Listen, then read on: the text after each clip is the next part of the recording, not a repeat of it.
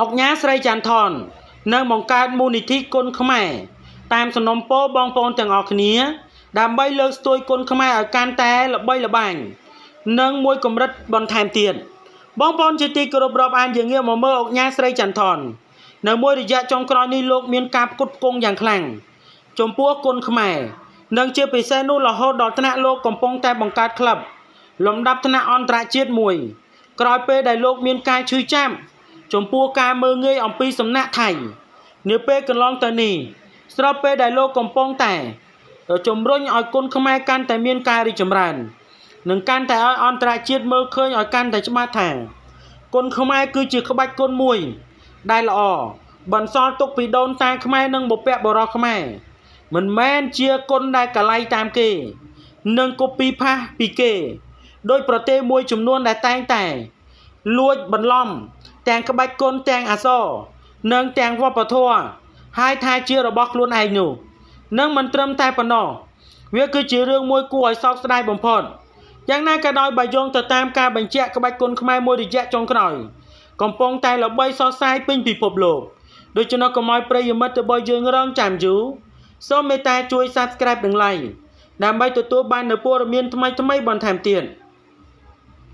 ពុកម៉ែបងប្អូនជាទីគោរពរាប់អានរឿងរ៉ាវដែលគួរឲ្យចាប់អារម្មណ៍នៅមួយរយៈចុងក្រោយនេះគឺគុណខ្មែរកំពុងតែផ្ទុះនៃការរីកចម្រើនជាខ្លាំងក្រោយពេលដែលមានការផ្គត់ផ្គង់និងទំនប់បំរុងអំពីសំណាក់បងប្អូនខ្មែរដែលស្រឡាញ់ចំពោះគុណខ្មែរជាពិសេសខ្លះជួយទាំងថាវិការទាំងពេលវេលានិងការគ្រប់គ្រងរហូតជួយគ្រប់គ្រងដល់ក្រៅប្រទេសថែមទៀត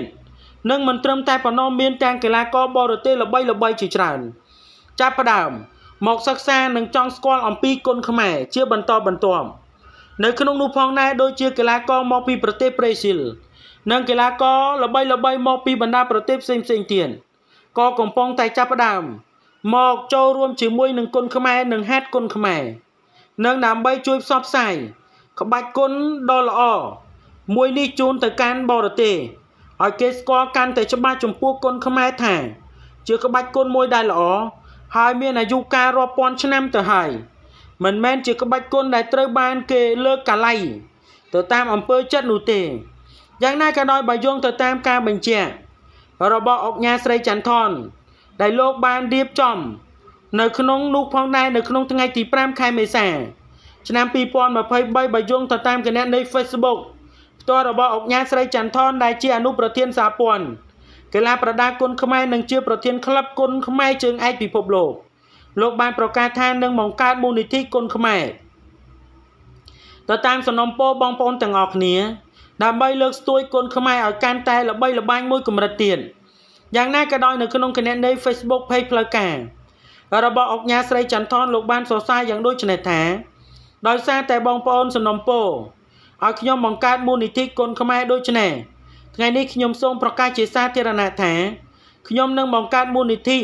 គុណខ្មែរតាមសំណុំពរបងប្អូនយើងទាំងអស់គ្នា ដើម្បីលើកស្ទួយដល់គុណខ្មែរឲ្យកាន់តែល្បីល្បាញមួយកម្រិតបន្ថែមទៀតមូលនិធិនេះមិនមែនជារបស់ខ្ញុំទេប៉ុន្តែជារបស់ប្រជាជនកម្ពុជាគ្រប់ទូទាំងប្រទេសនិងដូច្នេះខ្ញុំនឹងសូមអញ្ជើញឲ្យបងប្អូន ចូលរួមគ្រប់គ្រងមូលនិធិនេះទាំងអស់គ្នាអុកញ៉ាស្រីចន្ទថនលោកបានបន្ថែមទៀតថា គោលដៅបំណងនៅក្នុងការបង្កើតមូលនិធិនេះមានដូចជាទី1គឺដើម្បីមានថវិកានៅក្នុងការទ្រទ្រង់កីឡាករដូច្នេះកីឡាករគុណខ្មែរមានពេលវេលាគ្រប់គ្រាន់នៅក្នុងការបដោតទៅលើការប្រខាត់100%ទី2ដើម្បីជួយដល់កីឡាករដែលមានរបួសអំឡុងពេលការប្រកួតនៅពេលកន្លងមកគឺនៅពេលដែលកីឡាករគុនខ្មែរមានរបួសអំឡុងពេលប្រកួត ពួកគាត់មិនមានថវិកាដើម្បីព្យាបាលរបួសនោះទេ ទី3ដើម្បីមានថវិកាមួយចំនួននៅក្នុងការរៀបចំកម្មវិធីប្រកួត ជាលក្ខណៈជាតិនិងអន្តរជាតិអាស្រ័យដោយបានជម្រាបជូនខាងលើតើបងប្អូនយល់បែបណាដែរសូមបងប្អូនចូលរួមជួយបញ្ចេញមតិដោយក្តីគោរពនិងដោយក្តីស្រឡាញ់បំផុតពីអុកញ៉ាស្រីចន្ទថនដូច្នោះព័ត៌មាននេះមានប៉ុណ្ណឹងដើម្បីទទួលបាននូវព័ត៌មានថ្មីថ្មីបន្ថែមទៀត សូមមេត្តាជួយ Subscribe និង Like ខ្ញុំបាទសូមអរគុណនិងសូមគោរពលា